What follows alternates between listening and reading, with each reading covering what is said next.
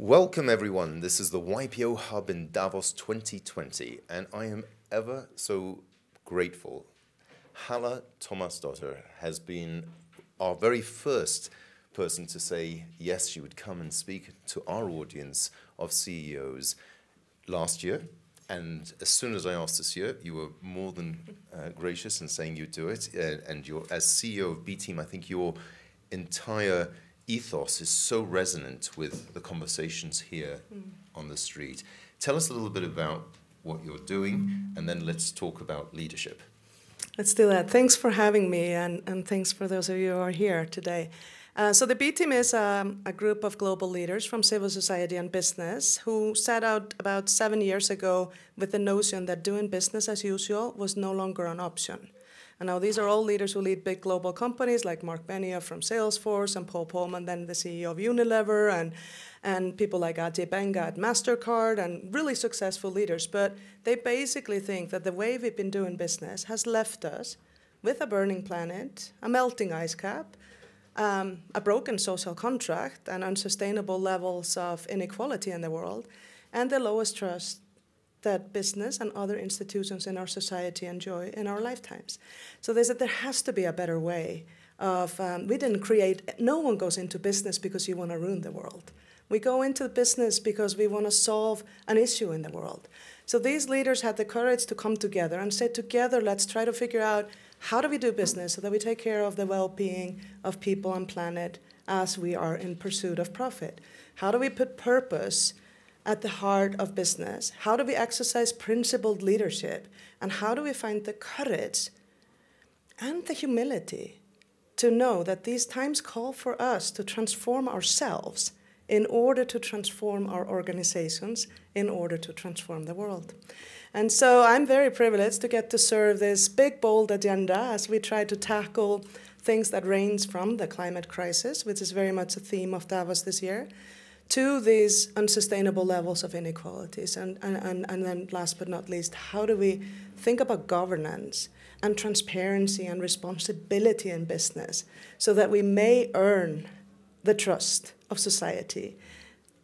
And this is a key issue that we've been discussing. We launched here uh, trust, the Edelman Trust Index was discussed here this morning. Mm. We've been polling our CEOs and had thousands of responses all around this issue of trust, a real fear that business is losing touch with, on a very basic level, with their consumers. And as soon as you lose that trust, you lose the credibility, you, you start having the protests that we've been seeing, people feeling disenfranchised, mm. not part of the system. There's a, there's a real issue there. But we believe that business can be a force for good, but understand that leadership is a key part of that. In the 70 years of YPO, leadership has been, and better leaders is something that we've been focused on. And I'd like to hear your thoughts, mm. not just from B Team, but just personally, because you're such a fascinating background besides before and besides what you were doing at B Team, uh, about leadership mm. and some messages that you would share with, with our peers in, in 130 countries, so culturally different places. Yeah. You know, what does it mean? Well, thank you. Well, first, I'd like to say that I think in many ways we used to do business in the way that we're now talking about being important. So I actually believe almost anyone who goes into business, any entrepreneur I've known, and I've been an entrepreneur myself, and I'm the daughter of an entrepreneur, goes into business because you want to do right you want to solve a problem there is, you want to do right by your employees, you want to do right by your customers, otherwise your business doesn't grow. And you, of course, don't want to finish the resources of the natural environment because then there is no future for your business. So, in many ways, I would say private businesses and, and the old way of doing business uh, has always been about this, been about stakeholders. Um, and that's the key to success because you want to attract the best people to work for you and all of that. It's kind of common sense. But what happened is we had this doctrine about 50 years ago. As a matter of fact, this year, it's 50 years since Milton Friedman put out this sort of idea that the purpose of an organization was to ret- maximize return to shareholders. And you know, I think we're questioning that notion because that economic system has left us with massive challenges. And I also would say, even if you like that, if you think the purpose of the organization is to serve only the shareholder, the only way to serve the shareholder long term now, because expectations in society have changed, is to take care of your employees, your customers, your planet, because the, that's what the generation of talent wants from you. That's what your customers increasingly expect from you. And that's what investors are increasingly looking for when they have started to invest with what we typically call an environmental, social, and governance lens or ESG lens. So society's norms have shifted or mm-hmm. are shifting fast, but we kind of continue, at least in large businesses, to largely do business in a way where the shareholder has a higher status than all the other stakeholders that need to be okay for business to be there in the future. And so, what should our CEOs be focused on amongst? Because you've raised yeah. just a whole number of things there, um, and it's a bit daunting. You say, you know, I want to be a better leader. I get the point, and and of course, my consumers, my staff, all the uh, constituents that I have to serve as a leader are pulling me in various directions. Help! How do you how do you do this? And if you have a listed business, you're not always getting a lot of support from your board or your investors because they're still in the shareholder supremacy model, and yet your other stakeholders, your employees, even your children, um, and your customers are pulling in a different direction. So it's not easy, and I'm not here to maintain that. But I think what happened in 2019 is very powerful. So two groups of um, citizens really changed, I think, um, the way we're talking in Davos this year. And it was our kids. The next generation has taken to the street and it's asked us, you know, are you taking care of our future? Are we going to have the same opportunities as you've had?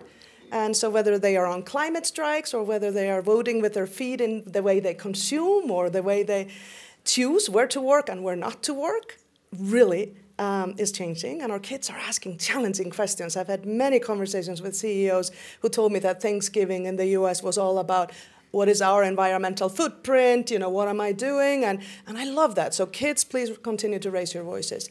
But these kids are the future of our business. They are our employees. And already those generations at work are asking the same questions so i would say employee activism and our kids kind of rising and hold, asking us to hold ourselves responsible not just for our short-term success but to the long-term success that they can face Tell, is the game-changing yes. thing that's happened. I'd like to focus on that a bit because we have some we have young next generation YNG who are basically our kids, mm. and uh, some of them are here. There's uh, thousands of them around the world. Mm. What are some ideas that you could share for them because YPO is an inclusive. Yeah. As an organization, it's about the members, but it's also about our spouses, our partners, and, and, our children. We want to help them. Give some thoughts or guidance for them. Yeah, and I, I would like to actually leave you at the end, at least with some um, concrete call to actions. Please. But first, this notion so, what is leadership? Is leadership something that is given to Paul Polman when he was CEO of Unilever, or Mary Robinson, who's also a B team leader? because he was president of Ireland? Or is leadership something that is available to all of us? So, to the young kids out there, to anyone out there, leadership is inside of every one of us. It's a choice if we're going to exercise it. How are we going to bring our voice and values to a world that feels incredibly broken and certainly needs more innovation. So I just want to start with that message. There's a leader inside of every one of us. Leadership is not given to the few. And these times call for it, and we're seeing examples of it. So that's sort of the first thing. But if I gave you concrete things to really think about, as a business leader, um, and even in your personal life, if you're not embracing responsibility for the sustainability of your organization or your lifestyle, if you're not setting a goal to try to be carbon neutral and half your emissions by 2030, then you are probably going to face irrelevance because that is what we need to do, but it's also what we're now expected to do. So think about that. Think about how you join the bold and the brave in this world and set a, an example for yourself. On a personal level, there are lots of ways to do it, but it's mostly about using your vote well. it's mostly about raising your voice and vote. But I want to go to a second thing that I'm so passionate about because I actually have this belief, and I've had that for 25 years, if not more, that maybe we could really fix all of the challenges we have in the world with one simple action. and that is if we could have gender balance in leadership. If I, I was just going to take you there anyway, because it's such an easy thing to, to, to, to discuss with you. We have had an issue. Uh, YPO 70 years old, and it's for leaders of organizations, and we don't make the demographics. You know what the statistics are of all businesses, so yeah. it's not nothing to do with YPO. Uh, when I when I joined YPO 28 years ago, uh, we've come a long way. I'll, I'll come back. We're 900% better than we were, yeah. but we were 1% of YPOers were women. Now it's nine. This year, very delighted that not only do we have a woman chairman, but also um, a, a, good representation on our board. But it's challenging, and it's challenging to us as an organization because we, we do reach out to have women join organizations like this, but it's a challenge because of the balance that they have between their careers, their families, and their priorities. Mm. You've been doing it all. Trying. Share with some outside the YPO world women that we would love to engage in the platform because we can't we can invite mm. but how do you convince women that they should go outside even they've done the hard day's work mm they have a family, and then on top of it, to join organizations, peer groups like ourselves. Tell. Well, first, yeah, I mean, so many things we could go into here from the personal to the systemic uh, challenges we're facing, but it's very clear that currently we have more white men named Steve in the boardroom than we have women in the world. And so, around the power tables in the world, this is true. And so, how in the world are we going to confront the crisis of conformity, business as usual, that's brought us to this desperate place in history by continuing to engage with people who are exactly the same? So, to me, I am not here to say that this is only about women's rights or human rights. It's about all of that. Let's do right and let's empower all of our human capital. It makes business sense, it's the right thing to do. I'm here to say that gender balance goes beyond counting women versus men. Gender balance is about what are the values at the heart of how we do business and how we think about our economy.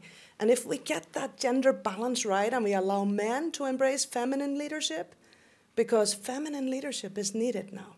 And it's not just women who can bring that to the table, but when we have a greater gender balance, we're far more likely to talk not just about how we compete hard, but also how we care deeply about people and the planet.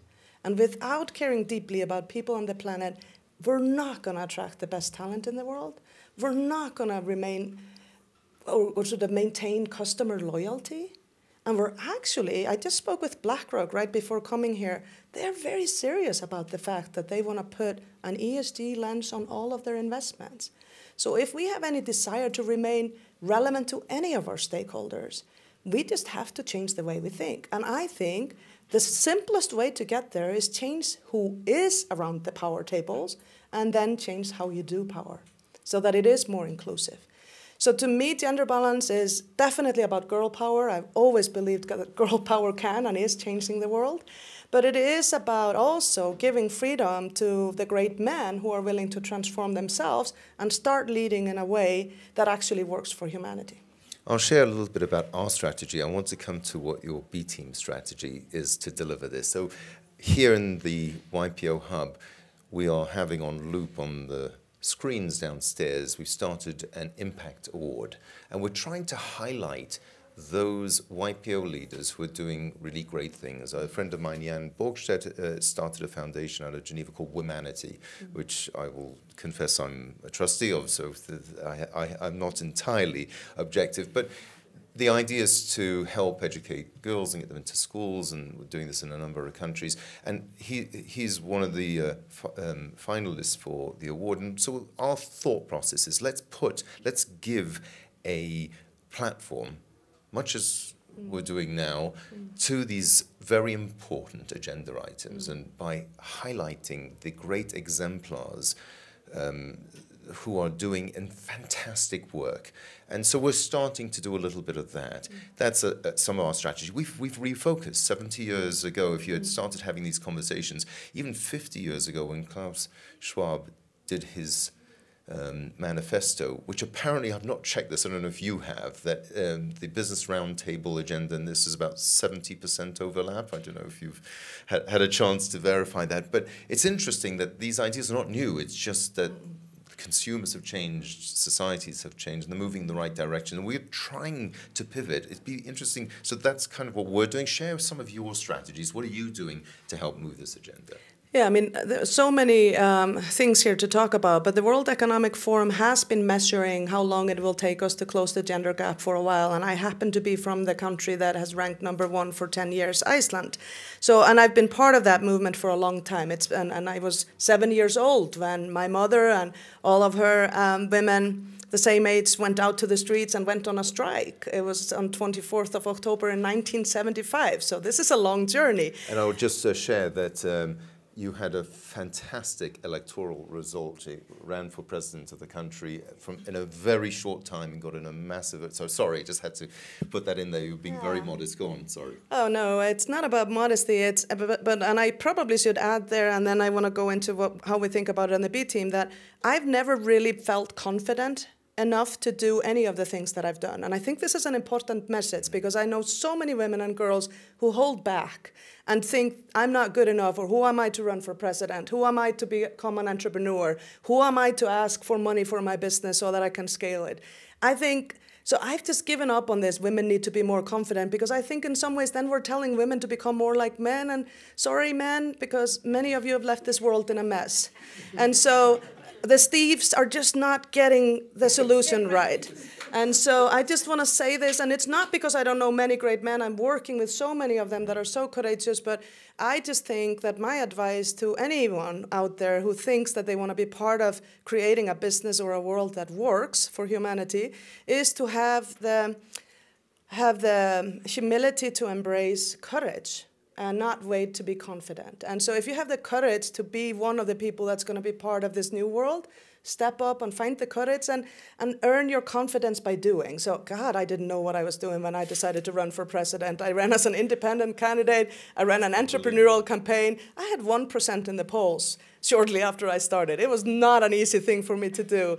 Um, did not know what I was doing, struggled with all kinds of barriers, systemic barriers that I think we have so, so courage really matters, and courage matters for anybody in leadership today, but so does accountability. I would say courage and accountability, put those two words in your heart if you're in leadership today, and, and you'll be okay. But what we're doing at the B team, speaking of courage and accountability, so one of our new B team members, who we've actually not publicly announced yet, leads a massive retail company, and he just set a goal that he's going to close all gender gaps by 2022. Gender gaps in leadership and gender pay gaps. It's a decision. World Economic Forum says it takes us 100 years to close the gender gap in politics, 250 in the workplace. We do not have a century, not to mention two and a half centuries, to get this world right. So it's a decision. We're now in a decade of action. Anybody who wants to be relevant in business leadership, it's a decision we do need to shift our definition of what a board director looks like or what a CEO looks like in order to do it, or what an entrepreneur that we want to invest in looks like. Because our mindset is, even in Iceland, the most gender equal place in the world, after I ran for office, I went in to see teenagers and I asked them, please draw a picture for me of a president, of an entrepreneur, and of a teacher. And what did the kids do? Boys and girls, they drew a male president. I had just given a speech, I had just run for office. They drew a male entrepreneur and they drew a female teacher. So let's be honest about the fact that we have mindsets that are old and they need to transform for us to remain relevant. And so I have seen in so many boardrooms, because in the Nordics we've put gender quotas in the boardrooms. I'm in favor of them. I used to be against them. I thought we could fix everything with private initiative. Gender quotas have actually been working for us in the Nordics. Is, is it this, works. It does. And is this 30%? tipping point something that you believe in? Three is three is critical. So because what happens, and I've been the only female in the boardroom or in so many rooms. Just yesterday, I was speaking to finance and asset owners about what are the challenges with getting to this future where we have carbon neutrality, etc. Only female around the table, of course, asked to take the notes. I said I will do the notes if I also get to speak on behalf of the table, so I can add my two cents to the speech. Um, and so sometimes we have to kind of have humor for the fact that we are still in minority. But what typically happens when you're a token, when you're one example of other, is that you have only one choice. You adopt the rules of the game as they have always been. It's not until you have relative balance that you start challenging the rules of the game. And these time call, times call for us on challenging the rules of the game. Now, let me flip it, because I know many men may be listening. I think it's equally hard to be a token male with only females. So, all of the conferences we've had around gender equality, and I've spoken at so many of them over 25 years now, and been part of so many initiatives that are amazing, and I love them, and the energy is amazing. But if there's one or two men, I like that's the best we see uh, in so many of them. So I think part of the problem with solving this lack of gender balance in the world is that we need to invite men to feel comfortable in that conversation because this isn't about women versus men. It is about shifting our ideas on how we lead and do business. Um, if we think we're going to change who's in power, we need to bring in those who are in power. And it so happens that 95% of CEOs are men and majority of board directors are men. So we need to get better. And, and I should take this also beyond gender because to me, inclusion is also about ethnic backgrounds. It's also about disability. It's also about paying living wages and listening to all the people that feel left behind and are now increasingly um, feeling desperate in the world because their quality of life hasn't gone up while those with money have enjoyed incredible success um, in the last decade and more. So I just think that we have to kind of be a lot more inclusive in who we listen to. And the risk that happens with many large companies that maybe doesn't happen as much as small companies is that we lose touch with those stakeholders. We don't listen anymore. And we think we know it all and have the answers and all is good for us. But all isn't good for us long term if we leave all of those people and voices behind. That's very true. And before I open up to questions, which we'd like to take, a comment that just resonated, a memory. So within YPO, we have this thing called Forum, not the World Economic Forum structure, very different. It's very small, eight to 10 people. We meet fairly regularly. And some years ago, I had one woman and then another woman join our forum, which was difficult because I'm actually encouraged. I didn't even realize that statistic is 95% of CEOs are male. Well, we're on, only 91% male in YPO. It, we have a long way to go. And part of the struggle was exemplified by this little forum I had where we had, I think there were nine of us, two were women, and it just, they felt it just was one would never it just wouldn't have survived at all and even with a second it wasn't enough mm. and eventually they both left three is critical so so it, it's interesting and I know we've seen it in our forums and, and we have and this is our forum structure and we need to sort of pay attention to that and I'll tell you one of our challenges too I have been recruiting women into YPO. It's the first thing I, I did 28 years ago. That was my role in my uh, chapter, which was London. And I would go and meet a very successful woman. I'd interview her, tell her about YPO. I said, We're 99% male. I need you. You've, you've got to come and join us. And she'd listen. I'd tell her all about YPO, and she'd say, Oh, that sounds amazing. Love it.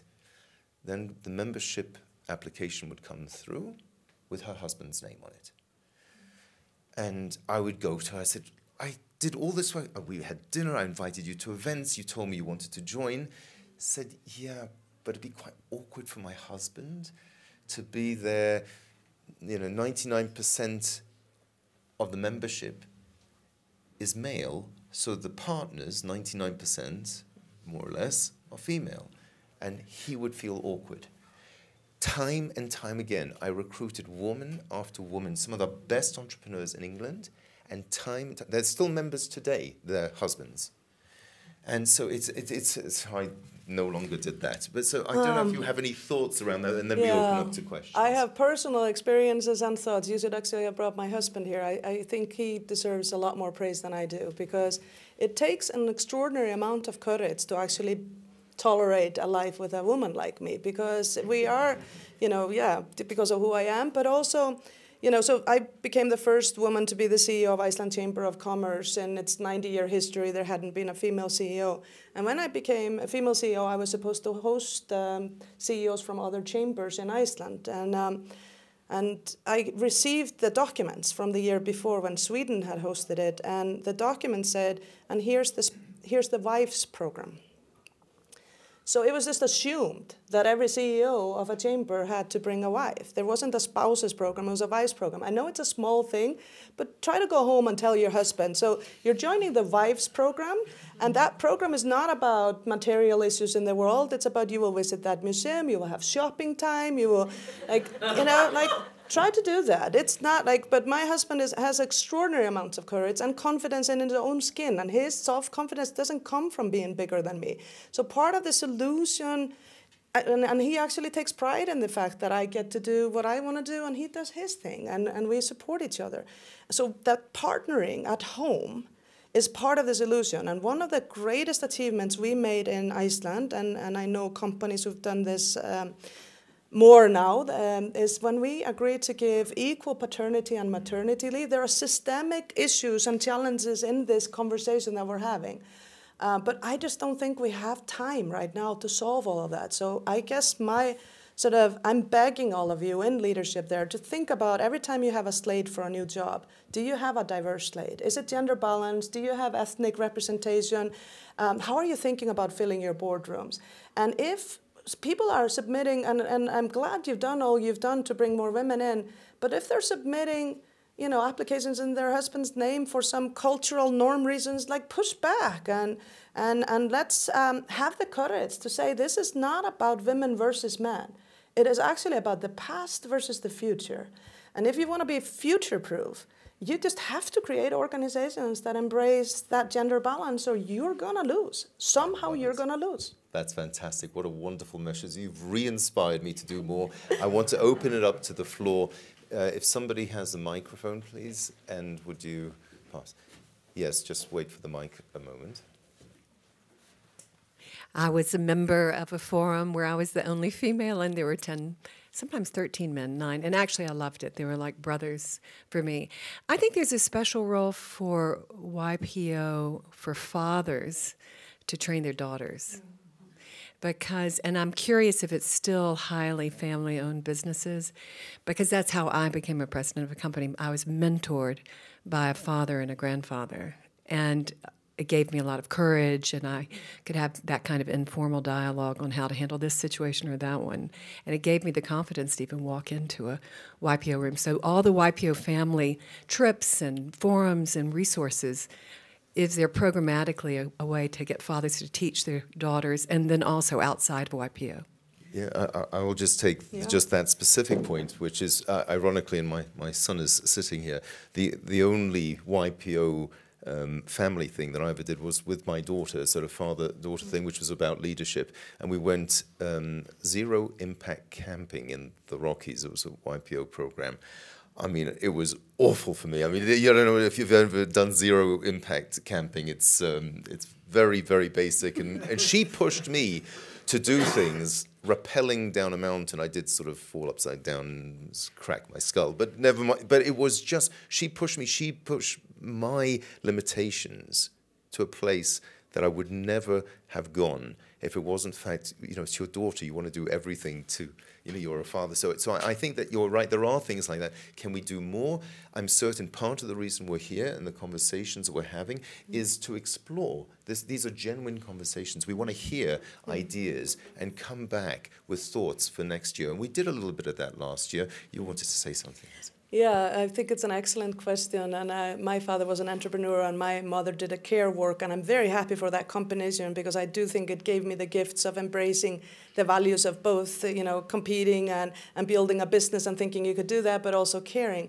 And let me just tell you, I spend a lot of my time speaking to CEOs of large global companies, and I can't tell you how many of the courageous ones I have met have told me a story about how their daughter asked them a tough question and how that became the moment that transformed them. And so one of those examples is uh, one of the B team leaders. He's a CEO of a massive um, um, company, global company that's been very successful. And his daughter asked him one day a very simple question. She came home and said, Daddy, are you proud of every product you sell? And her daddy started thinking, this is six years ago, this company now embraces ESG in, in, its entire portfolio. He even invites the next generation, the children of his board members, into a board meeting once a year to ask challenging questions. Think about innovative governance. So, in addition to closing the gender gaps, I'm a huge, passionate believer in closing the generational gap in the dialogues we're having. We are just not in touch with how this next generation feels, and we need to hear their voices. There are lots of innovative ways to do it, but I can't leave the conversation there. But let's think about mothers and sons as well. And let's think about the fact that we've been holding up this idea of a strong man. Uh, for so long, and our boys are also breaking from it because they do not want that world either. So I think as we say, you know, there might be interesting things for fathers and daughters. I think um, uh, mothers and sons, and, and let's let's start raising courageous girls and emotionally intelligent boys, and we actually might fix this world. But we only have a decade to get this right, so we need to fix ourselves as well. We cannot just wait for the next generation or leave all of the world's challenges to the next generation. We have to have the courage and the humility to face the mirror ourselves. Laura? To oh, add something to that, I think we're living in a world that's so culturally diverse, but you come from one of the most forward-looking countries on the planet, and there's so many cultural challenges that are even harder in other countries when you talk about having courageous conversations between men and women. I have a, a husband like you that's super supportive, and we have those courageous conversations all the time. But in cultures where it's such still a patriarchy, and you're right, my, I have your sense of urgency, and we've talked about this, how do we create a system that allows for them to transition to this new way of thinking? Mm. You want to take one more question? Just before, yeah? that, Laura. Thank you, uh, uh, Halla. I admire you deeply because one of the reasons why Be Women is is doing so well is because we take a lot of your of your uh, of your initiatives and, and, and vision. So my question is about uh, B Team. You uh, you mentioned many times that B Team is like a, a think tank, like a, a, lobbying, but in a way that the, you do it in, in a way that it really creates action and results. Uh, what's happening with the problem that we have uh, in shifting from a traditional economy to a more triple bottom line economy? How are we going to deal with a, a long term, a, with with a short term capital uh, vision that we have now towards long term investments and long term uh, strategies? I actually, uh, ironically, and maybe I'm simplifying, I think that there is a similar answer um, to both of your questions. You might not think so initially, but and I'm not going to say that I'm an expert at the cultural challenges, although we think deeply about them. And many of our partnerships at the B team are, are with civil society and particularly people who are working at the grassroots level on, on modern slavery or how we kind of clean up our supply chains or how we deal with the incredible uh, crisis of inequality across the globe and within specific countries. So, some of these things, whether it is um, closing the gender gap, or making sure that uh, we do right, not just in our own businesses, but also take responsibility for our supply chains. And some of the things that have to do with shifting from the short term mindset to long term mindset in business and shifting from measuring only financial profit to measuring what actually matters. And of course, our impact on planet and people matters um, have to do with policy changes. So, in addition to B Team trying to advocate for our own leaders to clean their own house and leading by brave action in their own companies and trying to constantly move the norms to a higher standard on that, we actually collectively try to advocate that there are some things that are going to require policies just simple policy interventions. We can't fix everything, and I know that there's a inertia in business about that, and we don't like the to trust the government to interact. But even in the progressive area of the Nordics, we did not have gender balance in the boardroom until we had gender quota.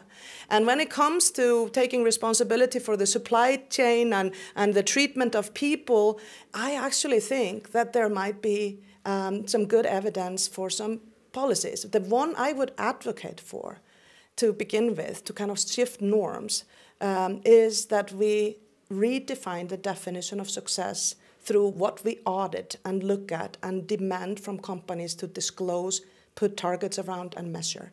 So whether we call that ESG or stake, whatever we call that, we need to start. And I don't know that there's any one way to go there, and I don't know that the regulation needs to be that this is the way that you have to do it. But I do think we currently have legislation that says that the only role of a board director and a company is to maximize shareholder value. And until we shift those policies, I'm afraid, uh, and policies on infrastructure, etc., um, we're not going to be able to tackle this effectively just by asking leaders to show more courage and accountability. I think you might know that in England we're now moving to change that legislation. There so is a, an interesting bill on the table in England, yes. Just one last question, sorry, we're out of time. Just wait for the mic. We have to take one from a man because I believe in gender balance both ways, but I can't see her. But okay. so you're going to have to take two now. thank you very much. Uh, yeah, thank you very much. Uh, uh, wonderful. Um, Iceland leads the way, obviously, in terms of gender, um, uh, you know, making sure the gender gap is filled. Uh, I'm from Rwanda, and you've heard about Rwanda's you, story about yes. uh, gender balance in Rwanda. But really, it is possible. I've been in practice, international development practice, for 27 years, and I've seen change happen. Before genocide in Rwanda, there was zero women in the leadership. After genocide, in, uh, in the process of recovery, a gender agenda became a thing. Mainstreaming gender is responsibility and decision you have to make. So I think we really have to make that responsibility and take action and make it happen because it's possible. So, but the question for you, uh, really, you have incredible experience um, what I see is how much money is spent from different governments advancing development around the world, especially from the third world countries, uh, particularly in the US. They spend trillion dollars in, in the countries. And they support gender on the paper, but not in practice. So, how do you advise governments as they move businesses and policies around the world to include gender agenda and in their program? And before, would you pass? Uh, Wonderful. You've asked for one male. Is there a Steve in the room? oh, sorry. Okay, Paul. Paul is also sadly, one of those sadly, names. Sad, sadly, Paul. Yes. Sorry.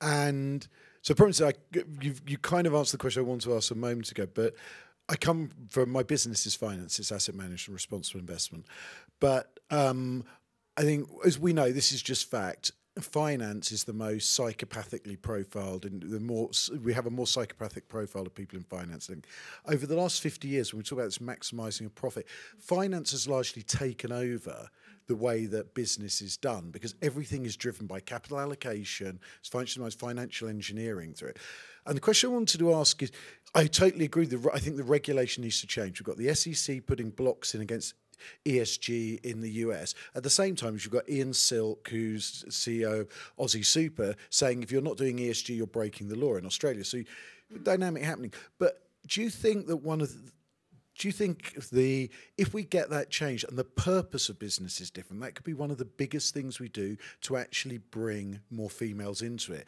Because I wonder whether a lot of them are kept out, not because I, have just done a CEO hire and I've hired a brilliant CEO. I have to say that because one of my colleagues is in the room. But I asked for a profile. I wanted a woman.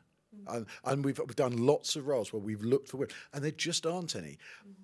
And we always talk about we're not giving them the opportunity. I wonder if the desire is there because the intention, what they're being asked to do, drive shareholder value, mm. actually isn't as attractive as it might be if the purpose was different. Okay, wonderful questions, both of you. If I go first to Rwanda, I mean, it's such a good example of how a nation that didn't really embrace gender got brought peace and prosperity to a really troubled country through the leadership of women. Amazing story. If you think about it, Rwanda has placed in the top few seats of the World Economic Forum's Closing the Gender Gap report for a few years running whereas the US keeps sliding down. I think it's in 46th place right now. So, what are you going to believe in if you're an investor? Are you going to believe in the future prosperity of Rwanda?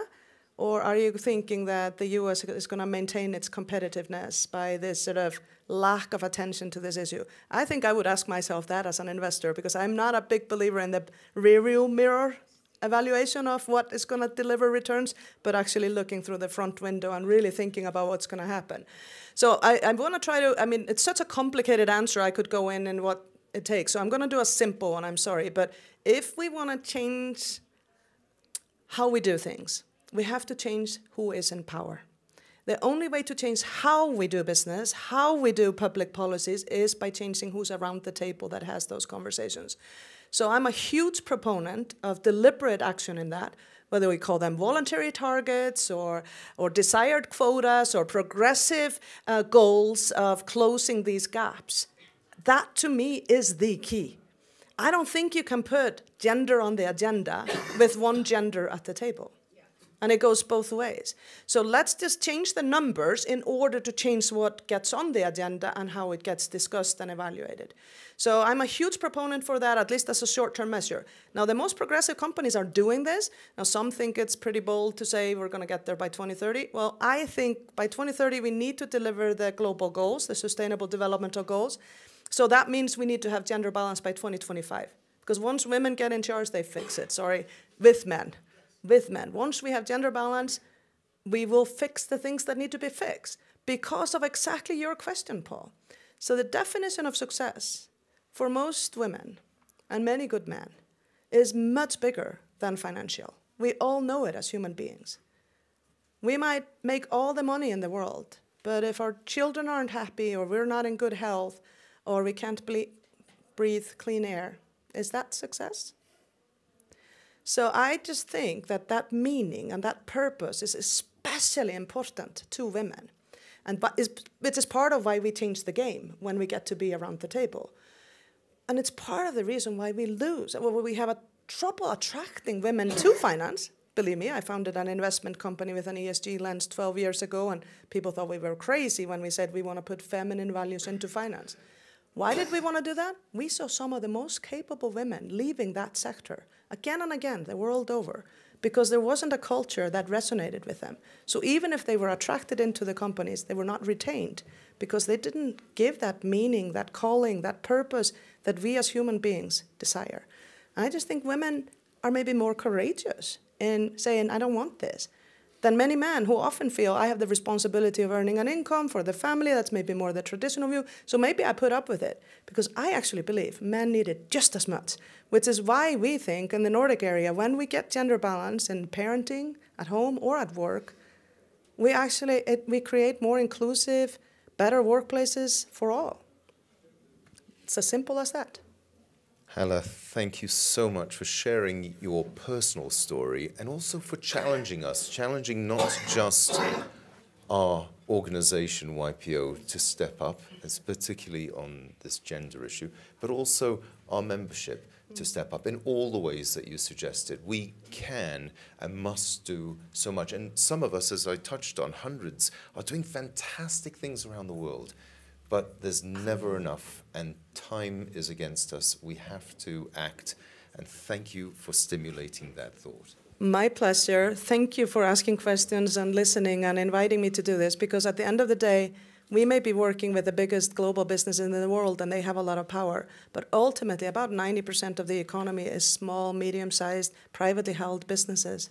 So you are the key to actually making this shift happen. So, to all of you, be a change catalyst, embrace a bigger definition of success, and, and make business a force for good. And, and together we'll make this together happen. we can make this happen.